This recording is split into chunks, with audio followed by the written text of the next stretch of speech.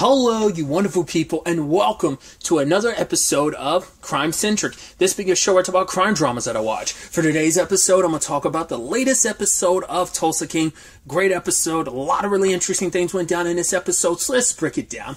So, first and foremost, we uh, have uh, the whole situation. I figured the moment his family left, that'd be when. Um, Dwight decides to roll up on Manny, and Manny, the moment it happened, he's like, "Oh, please, God, know my family's going to be here soon." He knew what time it was, but he had to tell Dwight, "It's like, yo, I'm here," and I love it because Dwight's like, "Is Chickie the one that?" Told, he's like, "Wait, what?" He's like, "Is Chickie the one that told you to kill me?" He's like, "No, I haven't seen Chickie in 20 years. In fact, I thought Chickie sent you here to kill me." It is interesting and very coincidental.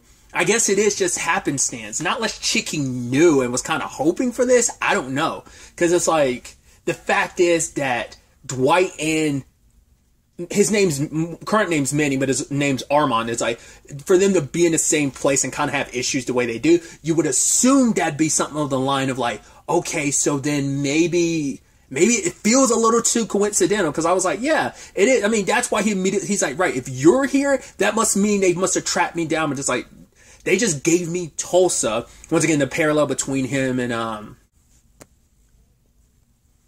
Stacy was the whole point that they both kind of got sent to quote unquote Siberia from their respective organizations and stuff, right? So it, this would seem like, as he kind of put it, banishment and punishment, imprisonment. So it's like, was that really the case or not? But obviously for Dwight, it's like, regardless of, yeah, you might have thought I was coming after you, you still try to pop me you know, so it's like, yeah, we're not good. But then Armand's like, yeah, yeah, yeah, yo. He references a name and it's like, what? It's like, yeah, you were set up. He's like, I tried to warn you, but I wasn't able to. And he's like, that's why I've been living here in Tulsa for the past 19 years because I had to get away. He's like, I thought Chickie sent you to kill me because I knew too much. He, that's why he ran away in the first place.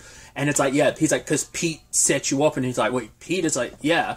So I don't know the per- the name they reference because he was like, I don't know if that has anything to do with the whole because it, the whole point was like, right, you were held up for 25 years. No one thought you'd hold it down like that. He's like, but I did. It's like, yeah, but no one typically does. Like they thought you would rat. That's the fact that that's interesting because when you break that down, he's like, oh, I left 19 years ago. It's like, they gave you six years before they were like, all right, man, he's he's kept it down for six years, but there's no guarantee he'll keep it for the next 19. So we got to do something. So I'm assuming this had like my initial thought is the name and everything. It didn't seem like it meant like it didn't seem like something we should necessarily know, but I'm assuming that's because Dwight supposedly.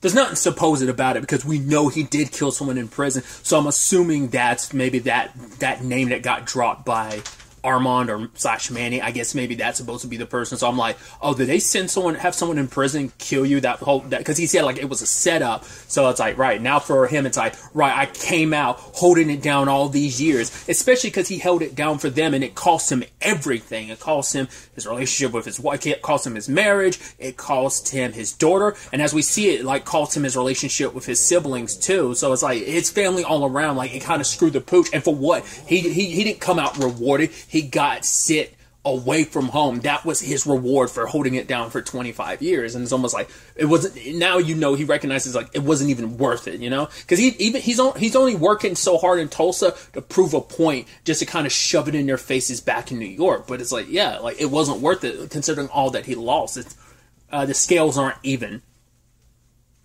and coming to that realization and kind of dealing with that, uh, especially like on the family front, because he talks to his sister, and you know we find out about his brother Joe uh, this episode about his brother's like sick, and he and by the end of the episode he's already like he's he's dying, and um, Dwight got to say you know kind of goodbye, and I, I, actually, really quickly focusing on that, that was kind of like almost a very somber way to end this episode. Obviously, they kind of got a little bit of like a, a, little jokey thing at the end there, but like there was this beautiful emotional moment when he was telling that story. He's like, "Yeah, remember when Dad told us to go get that thing?" And he ran into that guy, white hair, white beard, and you asked him if he was God, and he was like, "Well, if you think if if basically if the situation called for you and you looked at me and you saw God, then maybe I am God. Then maybe the person you saw is God. And he's like, if you see that guy again, you go with him. You know, it's like you're you're. It's time. It's it's okay to let go. And it's like you and me will catch up. Because he was telling your brother before. He's like, I'm sorry that Dane's kind of played out the way. I'm sorry for so much. You know. And it, you know, his sister was like, right, he can't talk, but he'll squeeze my hand, and he he can hear us, you know, because the rest of the family's trying to get there as fast as they can to see him off and stuff. And I just and just that moment, just like that line too, just like. We'll, we'll, catch up later, you know. I was like, oh, I was like, that's beautiful. Like it, legitimately, even talking, like I was choking up watching it, and now I'm kind of about to get choked up again. Like I, I'm, man, I can't help it. I'm a I'm a sentimental motherfucker. Like that type of stuff hits me hard, dude. And so I just thought that was beautiful. But um, other elements to the episode, um, Dwight's basically going back to the Armand thing really quickly. Like, hey, you owe me three hundred dollars a week now, or something like that. You know, in installment payments, and that's how we'll kind of even the score between us. And it turns out Armand's wife had no idea about his past, and now it's like, cool, I had no idea this was what it was about. It's like, oh, you've lied to me. He's like, I haven't really lied to you. It's just like, yeah, I was going to tell you the truth, but then eventually down the road, it kind of felt like, well, what's the point? I didn't need to anymore it's a past I'd rather forget about, so it just became less and less important for me to tell you about my past. And I was like, yeah, his wife's not too keen on that. And I guess it's like, right, with Dwight here, they, I guess they were planning on moving to Florida. I guess because she was like trying to like talk to a real estate person over Zoom for like, it's like, oh yeah, that, that's horse country and stuff. And I love while that conversation's happening, the dog is out front shitting on his lawn again. And it's like, you motherfucker. It's like, you're doing it in front of me too, you little bastard. I love it. Hey, no, no bad blood against the dog. It's all his owner because, especially because earlier when Manny was heading home, the guy, Larry, rolled by, gave him a middle finger. It's like, oh, fuck you, Larry. Um, either way, uh, so there's that situation. And I love, I guess it was from the racetrack, that little horse statue. He's like, no, you can sell this for 20 grand. He's like, I can't sell it because if I sell it, they'll think I stole it. Dwight's like, they'll think I stole it then if I'm selling it. He's like, put it back. He's like, I nearly broke my back or my neck trying to steal this thing. It's like, no one told you to do that in the first place, Manny. It's like, it's like, he's basically like, all this shoveling horse shit must have done something to your brain. He's like, put it back. Also, Manny, going for it, it's hardcore cats, hard, cold cash. It's what cold hard cash. I, I, I butchered that multiple times. Cold hard cash is what I want going for. It's like, man, it's like no one told you to do that, man. I get the sentiment. Of like, yeah, we'll kind of square it up in like one giant lump sum, and you'll get maybe twenty grand for this. It's like, what do you, what do you know? No, Manny, what are you talking about? Then they're also doing their little hustle on the side uh, with the whole. Uh, the nitro oxide stuff, you know, getting like selling that to people. Problem is they're cutting into the biker gang we got introduced to last episode. That's kind of their territory. So not issue at first, but then the guys who didn't do anything to Bodhi or uh, Tyson ended up getting like stomped as you know, it's like right, it makes them look weak, it makes them look vulnerable, so they had to be taught a lesson. Now, whether they were straight up killed or whether they were just beaten to a bloody pulp as lesson, either both are pretty bad options. So later on, when uh, Bodhi and them are selling it, still they end up getting the crap beat out of him. And hey, like you know, Dwight ain't some like slave driver being like, I can't believe it. He's like, no, he's like, hey, you did what you needed to do. Hey, you got jumped, you stood your ground. Like the fact of the matter is, you know, sometimes you take a loss. He's like, but then you know, all you got to do is get back up. And for him, it's like, yeah, let's uh, let's kind of handle business. We're gonna go back. We're gonna take our tanks that were stolen from us, and we're going to uh, get our money back. Because Mick, uh, Mitch wants to be a part of this, but Dwight's like, nah, man, you got, you already got priors and stuff. I'm not about, you know, you're on uh, probation and stuff like that. It's like, I'm not about to put you in a position where you might get busted. It's like, hey, you just stay here at the uh, the bar slash restaurant you just do your thing. You know, it's like, right. And I, I appreciate that. Dwight's like, yo, man, as someone who spent time in jail, like, I ain't trying to, like, you know, put myself in that position is one thing, but you, you're in a different situation. I'm not about to put you in that situation. So I thought that was pretty dope. And obviously, this was kind of a big blow to uh, Tyson, especially last episode when he trying to hype himself up in the mirror, like, oh, you coming from a boy? Got to come through me. And it's like, he kind of got jumped and it makes you feel weak, makes you feel like a punk. And especially at when everything else is going on, he had it out with his dad earlier in the episode. Well, it was more so like, yeah, because his, uh, his dad noticed that Dwight had given him the ring. He's like, yeah, the only people I see with pinky rings are British aristocracy and uh, mobsters, and I could just assume that uh, your boss ain't no British aristocracy. And for him, it's like, yeah, I get good money. I'm, uh, you know, it's like, oh, you're being a chauffeur. It's like, yeah, but he's a good dude. He's like, yo, but is he a, is he a mobster? Is he a gangster? And it's like his mom saying like, no, Tyson knows what's right from wrong. It's like, yeah, but Tyson also sees sadly, you know, an opportunity before him to like, yeah, he says later on that like, yes, uh, college just wasn't for him. The, like he got into it a little bit this episode, and obviously his parents, his mom is a little bit more sensitive about the subject, and it's kind of like, no, no, no, because obviously regardless of anything, that's still her baby. But her dad's like, his dad's like, you're 25, you need to figure this out. Like, are you going to waste every opportunity that me and your mom have provided for you? Like, when are we going to get paid back? He's like, all right, you want to get paid back? Tosses out the money there. Like his dad's like, get out, don't come back, essentially. But you know, it's just his dad. His dad loves him and doesn't want him to go down this route. That's why I brought it up in episode two, I believe, where I was like, I think his dad probably has a past. Like the fact is that he's going. I mean, obviously, no parent wants their child to be on this side of things. It's like right when we giving you every opportunity to like better yourself to be away from that type of world. It's understandable, but like especially the way like his dad Mark like rolled hard this episode. I was like, nah, man, like there's got to be something. There's something more to that. Like the fact is that it feels like there's there's kind of he's kind of got that dog in him like like he probably has like a past. Like I brought it up in episode 2 I was like he might have either been a part of that world or he he grew up in a neighborhood where like it was the, it was that type of situations you wouldn't have much option. You were either like you were working in the streets or you were going to starve type of situation. And it's like he probably knew people that died or got locked up. And that was kind of my main motivation on why he wanted more for Tyson. But maybe that's not the case. But like, fact is, like, you wouldn't expect any kind of like, he seems like a suburban dad. And for him to kind of hold his own the way he did later on and the way he's just like, yo, let's get to it then. Like that, that, like I said, he's got that dog in him. He got that, that fight in him. And then obviously his son kind of gets that from him a little bit too because obviously Dwight's got a plan of like, yo, let's all get together. Bodhi doesn't want to do this because he doesn't want violence, and I love Dwight's like, nah, man. He's like, we're going to take a more non-violent route. It's like, yeah, taking bats to everyone, yeah, that's super the non-violent route. But I do love like legitimately, and oh my god, they had to play the song too. War by Edwin Starr, because I, I, you know, it's a song we've all heard multiple times throughout our lives. I want to feel like one of the first movies I ever saw it in was probably like Rush Hour.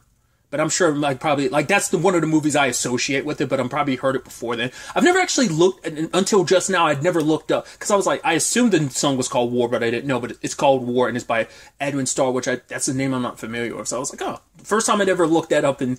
I'm 30 years old and I've never looked that up before, interestingly enough. But either way, it was just like, and it's just, I got a little too hyped about that scene, especially because the fact is that Mark uh, Tyson's dad wanted to take part in because he's like, yo, the, the enemy of my enemy is my friend. And it's like, yo, we may have issues, but these are the people that actually jumped my son. I'm going to get to it then. And I love that, you know, Dwight's like, yo, like, I'm his boss. Your son works for me. It's like, yeah, he's a grown man. He's like, are you coming with or not? But Mark's like, I'm going to go with. And Dwight's, Dwight was kind of impressed. He's like, Dwight, uh, how how you doing? He's like, how are you doing? I'm Mark, and it's like, all right, Mark, let's go. And everyone would bat to him. I even love that it was um what was it? Uh, I think it was Fred. Fred was like, "Yo, me and so and so are going to like go in there, call some stuff, like shit talking." The home dude was like, "Wait, what? No, we're," and he's like, "Shut up. We'll we'll draw them out, and then you guys circle them." And then Bodhi was kind of like, "No, we're not doing that." But Dwight was like, "Honestly, that's a really." He's like, "No, no." I, he's like, "Fred, I really like that." And then it's like, "No, they went straight up, and it's just like took them one." And like took bats to all of them. I loved it. It's like everyone was really getting into it, homie. I love it. And just after we're sitting at the bar, like kind of having that victory drink, I even love Mark being like, "This ain't the bonding moment you think it is, son." So it's like, right, you will always have a home if you choose to. So at the end of the day, it is it's your choice to make what you're going to do with yourself. And for Tyson, he's stuck between like, yeah, I think he gained a lot of respect for his dad in that moment, but I think it's for him. He believes that this might be the only route for himself to kind of find himself to be be his own man type of situation. It's like he feels like he can learn so much from Dwight. This is a guy who's kind of lived it. He's done it, you know, and he's kind of building from scratch. And I'd like to be here on the the forefronts of that to learn from him.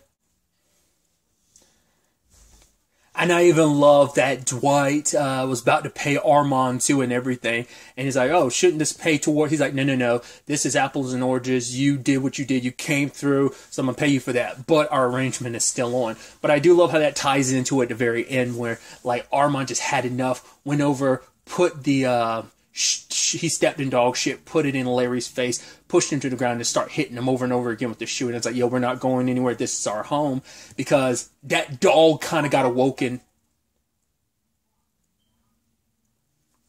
It was awakened in Armand after so long because he'd been kind of playing like the suburban guy life for you know husband and father life for so long that he kind of but now it's like yeah that that mobster's coming out a little bit you know so Dwight's having kind of a bad influence on a lot of people. But even Tyson at the end like, it seems like he's kind of making his choice. He's like, oh, I'm going to dye my hair amber, and it's like, oh, okay, you should do you, you be yourself. And he's like, be myself. It's like, yeah, kind of not try to be his dad, not try to be who his dad want or mom wants him to be, just be himself. So we'll, we'll see how that turns out. It can get nasty. I didn't talk about it, but I do enjoy that bad face is there too. He was like, yeah, I don't have many friends, so I appreciate being a part of this. But he went in there kind of whooped some ass because I mean, from the moment Dwight was like, honestly, me and Badface are good. He's like, I'd love to have a, a guy like that. And it's like, yo, I guess we can see Badface from time to time. So I, I love that because I even love Bodhi's like, well, if we're gonna do this, I'm gonna bring Badface, and it's like, yeah, he he comes through uh, when you need him to. So because uh, he had Bodhi's back and Bodhi,